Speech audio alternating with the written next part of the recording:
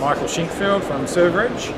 Uh, we provide everything from uh, data cabinetry, uh, data infrastructure, cable, copper and fibre, all patch panels, all data and rack accessories. Um, we have a number of uh, different racks.